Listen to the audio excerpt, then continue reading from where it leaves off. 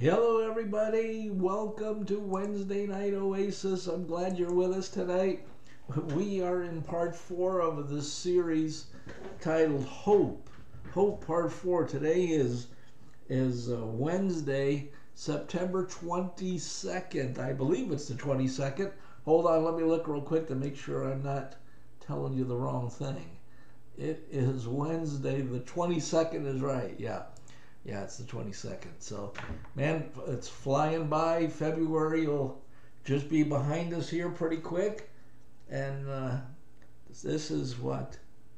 This is like uh, coming up on, uh, um, before you know it, it's going to be March and April. Man, I don't know where it's going, but it's going by fast. Open your Bibles to Matthew chapter 13. Matthew chapter 13. We are we are in part 4 of the series titled Hope. And the idea behind the series is what brings hope into our lives and what are some of the answers to the questions that we deal with on a daily basis or something that may come into our mind and in part 1 we talked about why do bad things happen to good people in part two, we asked the question that I think people have asked in their lives more than once Are my prayers getting through?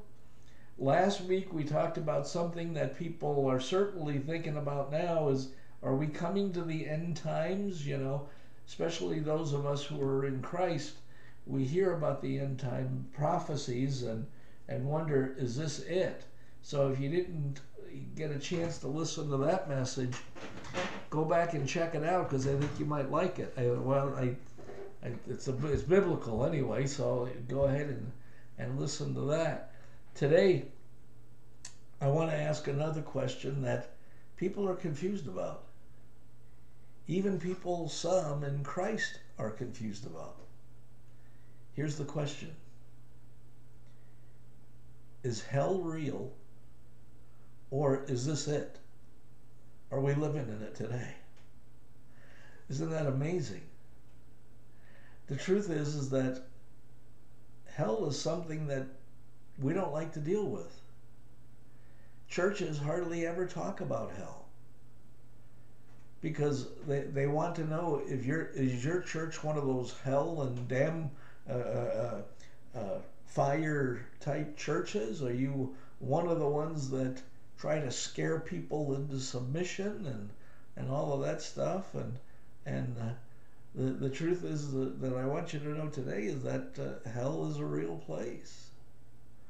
Just like heaven is a real place. You see we can't say that hell's a real place because we don't want to deal with it. Or we want to make light of it because we don't want to talk about the terrible parts of what it what it really means um, I, I, we, we often hear music and and hear rock and roll so- songs that uh, glorify hell in a way almost you know? People make jokes about it. There's been a there's been songs written like highway to hell right? Why, why would you want to go on a highway to hell but there was a strong song written like that. Uh,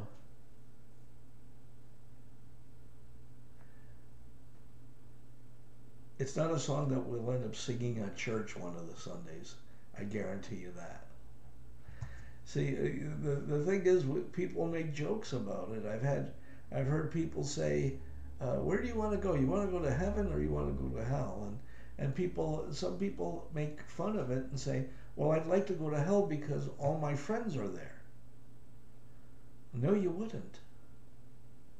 See, hell is a real place. And we're going to talk about that tonight some. Now, I know many of you who are listening understand the truth about hell. But I want us to really get it down deep inside because a conversation may break out one day and you want to know what to think about it or what to say about it or how do I respond to that. And I don't blame you because I I do too. Let me say that um, it's shocking what people think. I've I've talked to people before who are even Christ followers, and they say, "No, I I don't think hell is a real place. I think it is a, a an allegory, meaning um, it's an analogy. It's a it's a it's not really a place. It just means you're going to going to go through something terrible. That's what people think. Or um, someone said, "My kids torment me every day. I think this is like what hell's going to be like." No, no, it isn't. Someone said that I think hell is real, but I'm not going there because I try to be a good person and help other people whenever I can.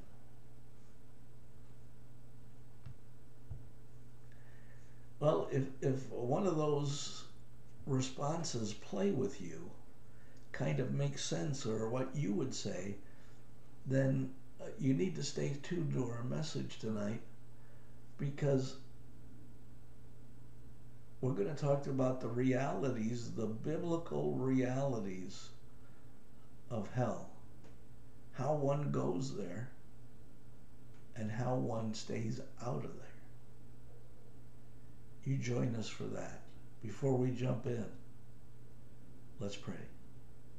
Well, dear Lord, as we talk about something that is often not talked about in churches or in the Christian world, Father, give us the boldness and the strength and the courage to speak the truth.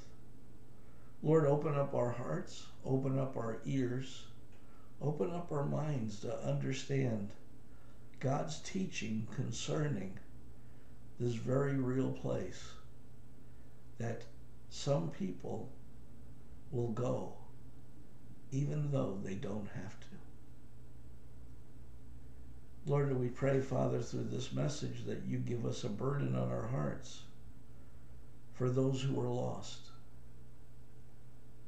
Use us to bring them into your kingdom. In Jesus' name, amen. Hey, I want to welcome you all tonight. I'm glad you're with us uh, as we jump into this message tonight about hell I want you to know that uh, none of it will be really based on my opinion. And if I do give an opinion, you'll know it because I'll say, this is my opinion, not a passage. And so um, I want us to relate the things of God and the things that He tells us about to our own lives and to understand that God is never going to show us things that He's going to say that was for then and this is for now. Um, one of the biggest misconceptions about hell that people have is that it's not a real place. People think, uh, uh I don't think about it and talk about it, uh, it isn't there because if I don't think about it, and I don't talk about it, then I don't ever have to deal with it. And if it isn't there, I don't have to, to worry about it. And I don't have to think that there are people that I loved who have gone, who have left us, that might be there right now. That's a terrible thing. It's a tough thing. I mean, it's a tough one to deal with, especially if you had a loved one like a mom or a dad that you loved deeply. See, people don't really want to deal with the realities of hell because somebody that they loved deeply may have gone there. Well, uh, tonight uh, I'm not trying to bring um, sorrow into your life. I'm trying to share the truth about a very real place.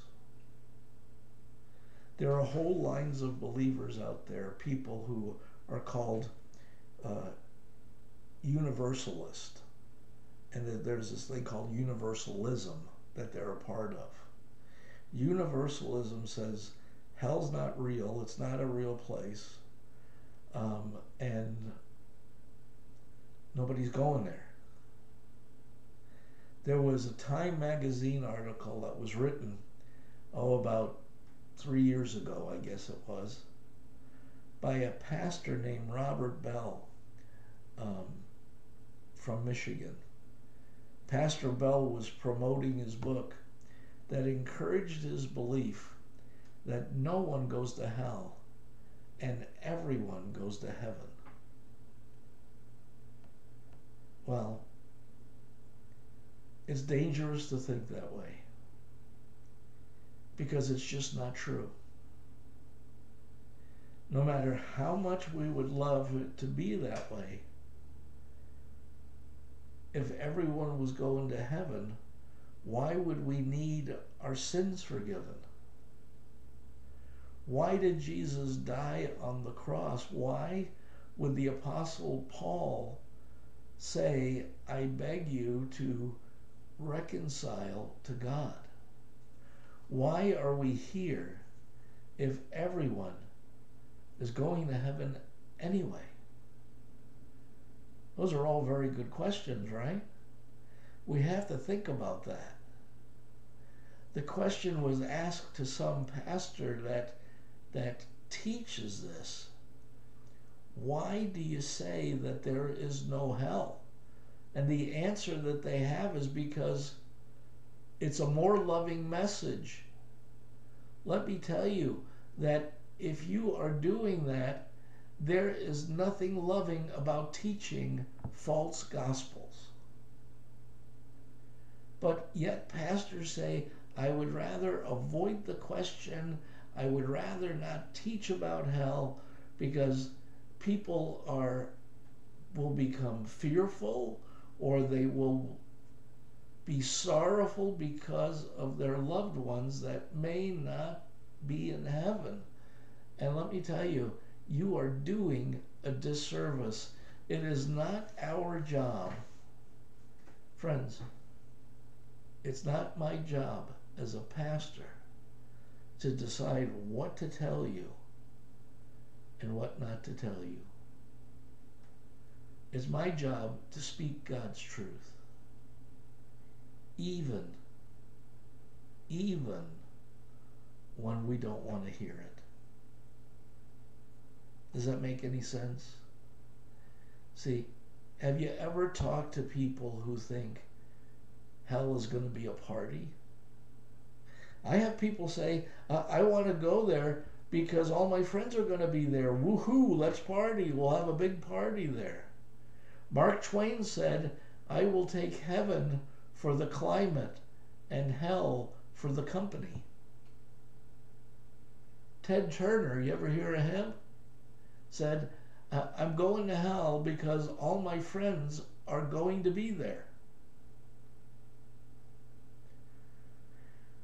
When I hear things like that, it tells me that people don't know what the truth is about hell. And it's a disservice. It's a terrible thing. I mean, tonight I'm to, I hope you're going to take notes about this and if you have a, a notebook, I can I encourage you to do that. To take out a to get yourself a a Bible lesson or a Bible teaching notebook, Oasis notebook. That's a good thing. Call it an Oasis notebook and take notes on what we're talking about because it will help you remember what we say. So, what do we know about hell? What do we know about hell? The first thing we know that the Bible, what the Bible um, says about hell is this hell is a real place. I want you to turn with me over to Matthew chapter 13. I think I told you that at the beginning, right? Didn't I? Matthew chapter 13. Here's what it says the Son of Man will send his angels, and they will weed out of his kingdom everything that causes sin and all who do evil. They will throw them into a blazing furnace where there will be weeping and gnashing of teeth. Is that a loving God? It's a just God.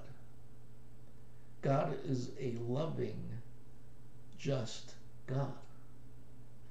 Look at what it says in Luke chapter 16, verse 24. So he called to him, Father Abraham, have pity on me.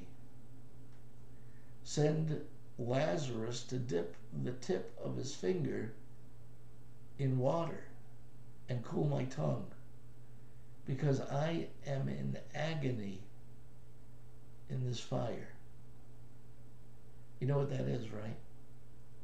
That comes from a parable that was told by Jesus about someone who had gone to hell. Two guys, they died. One guy goes uh, to the goes to hell, and he's pleading to do this. Then look at go to verse 27 now. Same Luke 16, 27. The guy makes a request to God. He answers, Then I beg you, Father, send Lazarus to my family, for I have five brothers. Let him warn them, so that they will not also come to the place of torment. As we read about hell, there's a basic truth about hell that people miss sometimes. It's the second point in your notes, or for your notes. Hell is a place of eternal suffering. Some don't believe that. Matthew 25 46. Here's what you should know before I read that. Some don't believe that because they want to cover themselves in case they think they might go there. Or they think it would be too difficult to believe that someone that they love is in eternal suffering. I get that. But if you're in Christ, hell is not for you. And it's important for us to understand that truth. Matthew 25 46 says this Then they will go away to eternal punishment. They will they will go go away to eternal punishment, but the righteous to eternal life. It's it's saying that this the the ones who are righteous, who are Christ following, who are people who are belong to Christ, they're going to um, eternal life in heaven. See, not only is heaven, not only is hell uh, a place of terrible suffering, but we will remember the opportunities we had to accept Christ. Can you imagine being tormented day and night, or every every moment, knowing, knowing that you could have accepted Christ, and you didn't do it. You didn't do it because of your pride, or you didn't do it because of your unbelief or because it didn't fit into your world. Too many rules. You led yourself to believe that, oh, I'll accept Christ someday when I'm done partying, and someday never came. And it was too late. See, you imagine being in a place absent of God being reminded that you did not have to be there.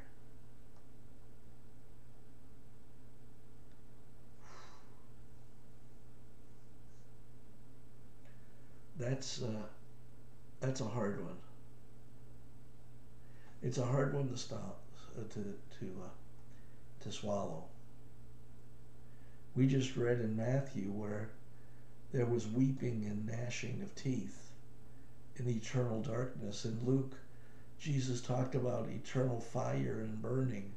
In Mark, we are told that hell is a place of eternal torment and and punishment. The guy in the parable in Luke chapter 16 possesses the ability to think, to feel, to touch, and to remember. And he's in hell.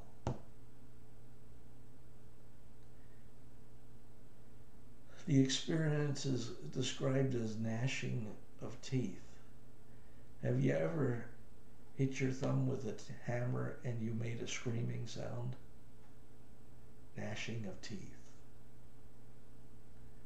You deal with pain for a second. Hell is dealing with that type of pain for eternity. Eternity is kind of a. I looked up that word eternity and I found out that um, eternity means forever. It means never ending. Do you know what's interesting? There are not many stories told uh, of people who have died and went to hell. There are tons of stories about people who have died and have gone to heaven. I guess no one wants to admit that they went to hell when they died. There was a doctor named um, uh, Maurice Rawlings who was a cardiologist and a professor at the University of Tennessee. He, he was also an atheist. He, he wrote a book about some of the patients that have had near death experiences. Not all of them were experiences where they were uh, going towards the light. In fact, some were just the opposite. Listen, listen to this one. Here's one that they had. This story happened when he was um, resuscitating a patient of his. Each time the man would regain his heartbeat, the patient screamed, I'm in hell. He was terrified. He pleaded for me to help him. I was scared to death. I noticed a, a, legitimate look on the, on the man's face of terror like I had never seen before. The man had a tormented look on his face that will never leave my mind. After the man revived, he said, Hell is real. I know because I saw it. And soon after, he accepted Christ as his Savior. And so did I. So did the doctor. Can you imagine that? I don't know about you, but I hear stories like that and it kind of gives me the chills. Can you imagine having a near death experience and the death, the, the place that you're going is not uh, flowers and butterflies, but torment and burning and screaming and gnashing of teeth. Hell has eternal suffering. in It there is mental suffering.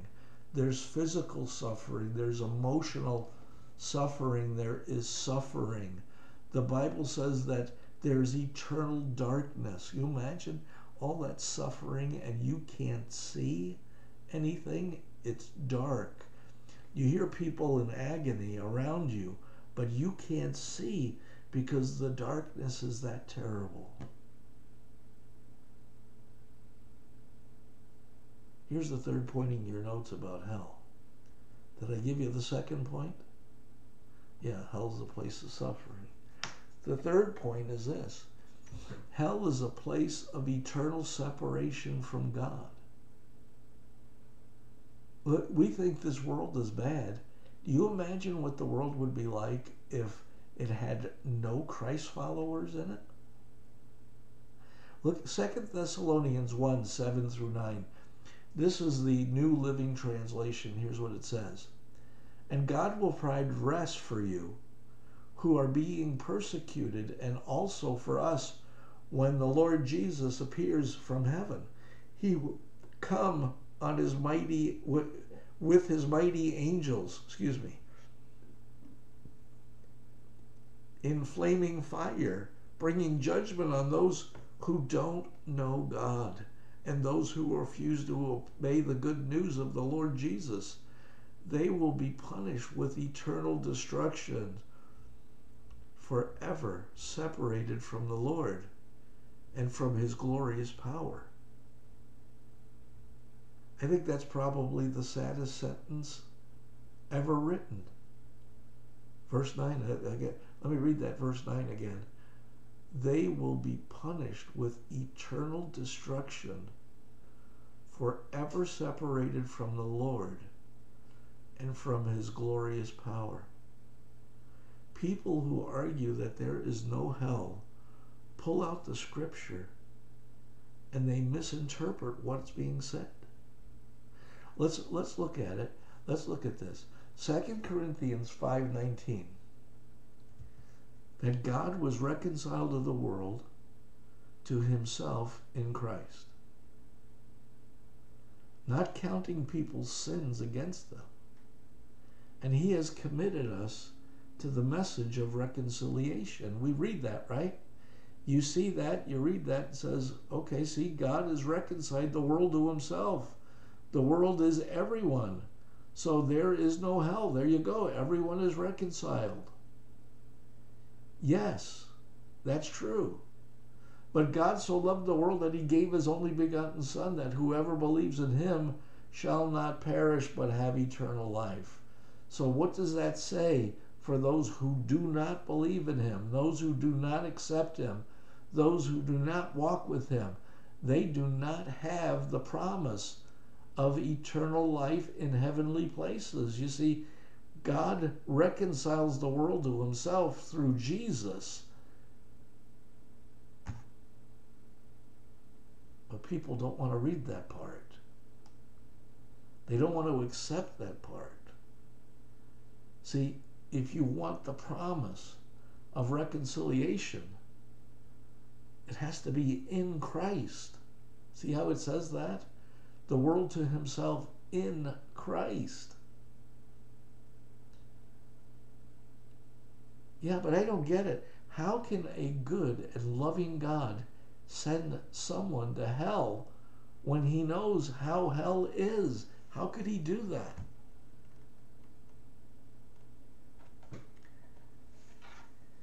Here's what people don't get God doesn't send anyone to hell. People, chose, people choose to go there. the people have to realize that that there's something so important that they need to understand. And here it is. Hell wasn't created for man or woman. It wasn't created for us. Hell was created for the devil and his angels, for his demons. And the sad thing is, people are going there because they never expe- they never expect to go there, and then they find themselves there.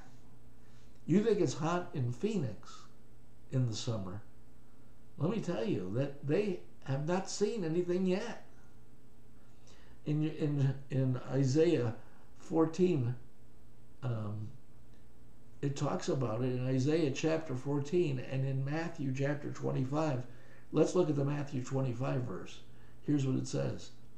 Then he will say to those on, the, on his left, Depart from me, you are cursed, into eternal fire. Into what fire? Eternal fire prepared for the devil and his angels. Prepared for who? the devil and his angels. See, God's plan for restoration happens through Jesus. And he doesn't want anyone to perish. It's not his will for anyone to go there. We heard that before. You ever hear the phrase, your parents probably said this to you. This is going to hurt me more than it hurts you. And your response usually is, yeah, right.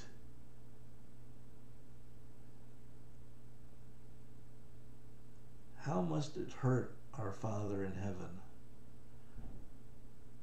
when people find themselves going to hell because of choices that they make? The next thing we have to recognize is this God is both good and just.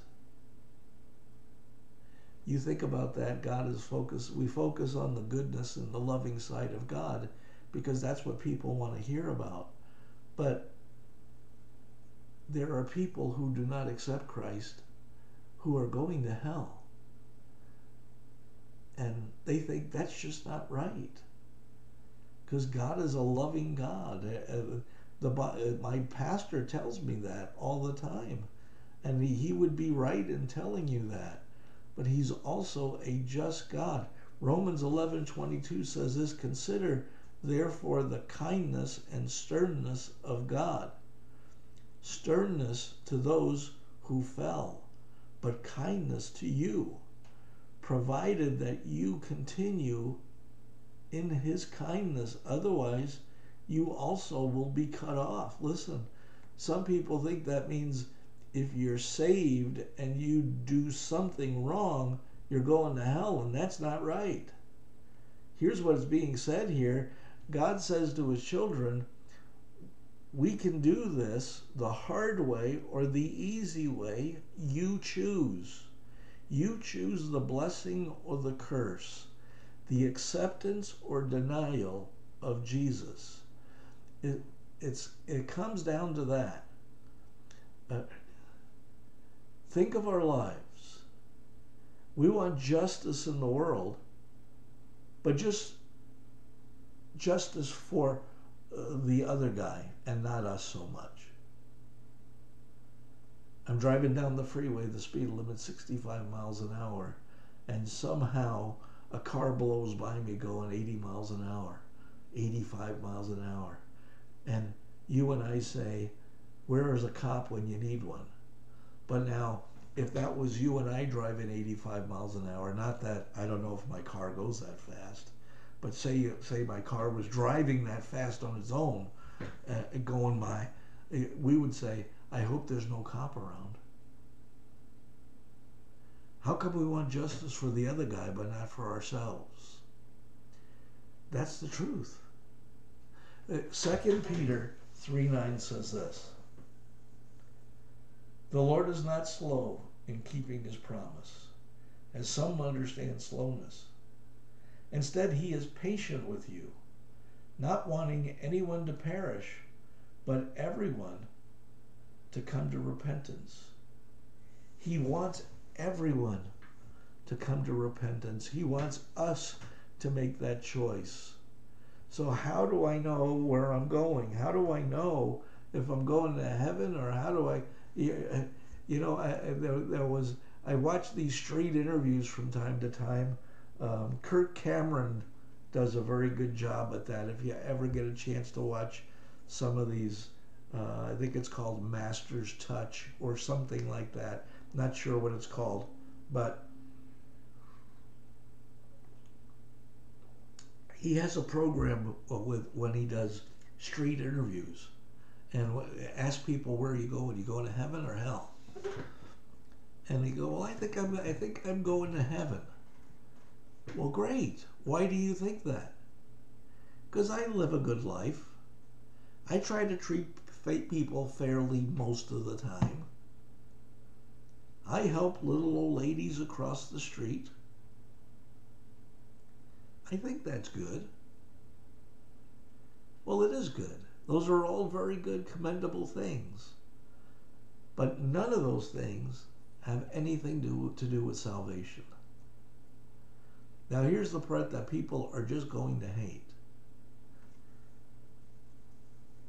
Don't turn this off after I tell you this. There will be people who are murderers in heaven and people who lived a, a helpful life in hell. That just doesn't seem right, does it? It only seems right when you understand that the pathway to heaven is through Jesus and Jesus alone.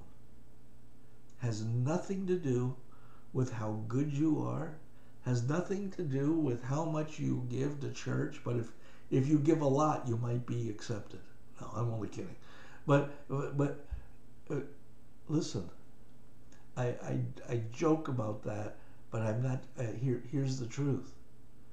The only way you and I are going to get to heaven is by accepting Jesus as our Lord and Savior. That's why we do that every week. We ask people if they want to accept Christ as their Lord and Savior.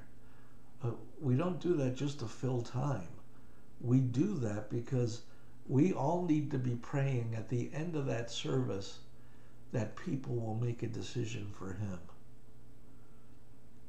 Friends, there's there is just a few steps to know where it is you're going.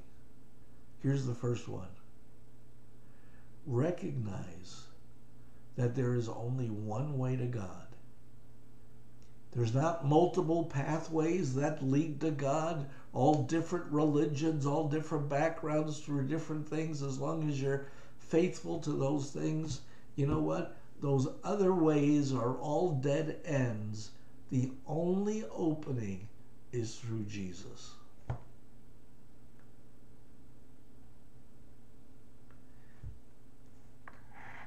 Oprah. You remember Oprah? Well, she's still around. Oprah, on her show, used to have all of these different crazy people who came on her show that talked about crystals or trees or worshiping this or that or whatever. And there was a there was a thought for a, a while there that all paths lead to God. And then in Oprah's final show, and I had a chance to watch that because even though I was not a watching Oprah fan, someone who's been accomplished and been on TV that long, you want to watch the last goodbye show kind of thing. You know, that's me anyway. Well, here it is, the end of the show, and Oprah said that I believe that there are two things that have made my career a success, she says. One was the faithfulness of my viewers, and the second was the grace of God through my Lord and Savior, Jesus Christ. I was floored at that. Wow. Now, either a transformation happened during this whole time of this program that she's had, or she was just trying to keep an open mind for everybody to hear the baloney, whatever it might have been. I don't know what was bringing her to that, but she gave God, Jesus, the credit. And for that, she should be commended. Listen, all religions have some thread of truth that everyone believes. I mean, there are di- all the different religions. There's treat others like you want to be treated. I think every religion teaches that. Care for one another. I think they all believe that. But there's only one that says Jesus is the only way to God. And that's being a Christ follower. even these other religions, the ones that who are the leaders of those religions, none of them claim to be God. None of them claim to be the pathway to God. Only Jesus does. Now, either Jesus was telling the truth or he was a crazy man. And I'm going to tell you that he was telling the truth. There's other religions out there that they have a word that describes what their religion believes. It's called do. Do. D-O. If you do this, if you do that, if you do this, if you do the right things, if you, uh, then you will go to heaven. But Christianity doesn't teach that. Christianity teaches you a different word, not do done. You have been saved by grace through faith in Jesus Christ who paid the price for you. See, there is a hell. There's a way to stay away from there. And the only way is through accepting Christ as your Savior. If you never do that, you're going to hell. I don't even like saying that. Because the reality is that the choice is yours. In John chapter 14, verse 6, Jesus says this Jesus answers, I'm the way, the truth, and the life. No one comes to the Father except through me. No one comes to the Father except through me. I don't have to be a brain surgeon to understand that verse. In Acts chapter 4, verse 12, it says this Salvation is found in no one else, for there is no other name under heaven given to mankind by which we must be saved. John 3:36 Whoever believes in the Son has eternal life. But whoever rejects the Son will not see life, for God's wrath remains on him, on them. Romans 5 8. But God demonstrated his own love for us in this. While we were still sinners, Christ died for us. Since we have not, since we, in, sorry, since we have now been justified by his blood, how much more shall we be saved from God's wrath through him? See? The passages could keep on rolling in. So, all right, I get it. Why did God allow hell to exist then? Why didn't he destroy the devil and not give us a choice? Why didn't he just create us that way, that we without choice?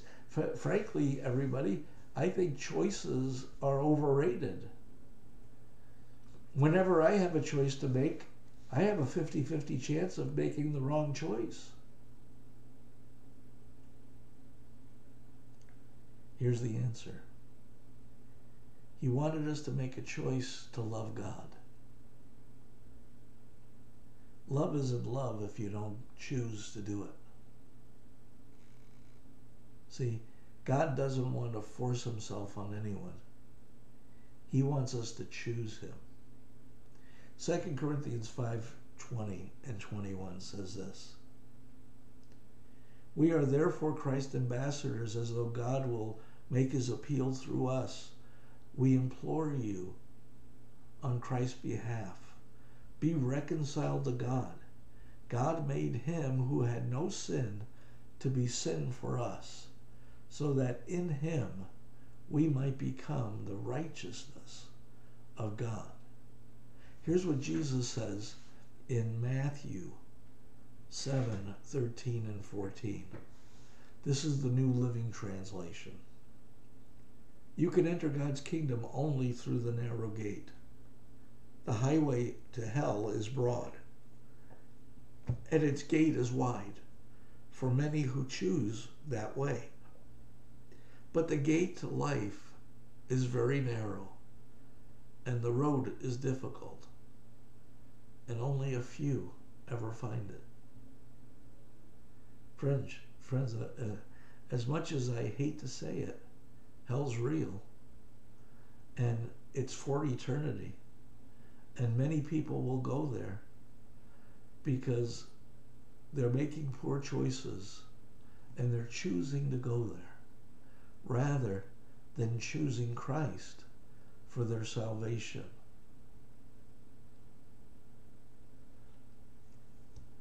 That's why I always ask people, you make the choice. Here's one last passage Deuteronomy 30, 19 through 20. This also is the New Living Translation. Today, I have given you the choice between life and death, between blessings and curses. Now I call on heaven and earth to witness the choice you make. Oh, that you would choose life, so that you and your descendants might live. You can make this choice by loving the Lord your God, obeying Him, and committing yourself firmly to Him. This is the key to life. This choice to accept Christ is the key to your life.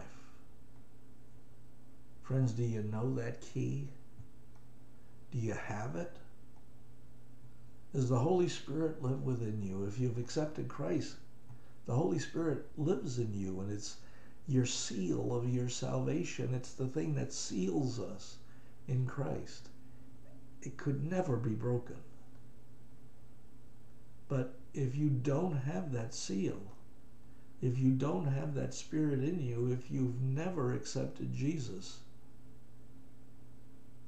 hell's real and it was never meant for you. But people will go there because they do not know Christ as their Savior. Think about that. Thanks for joining me tonight. This was a tough one. It's hard to hear because we don't like that. But it's completely the truth. Love you guys. Have a great night. See you Sunday. Starting a brand new series. You're going to love it. I'll talk to you later.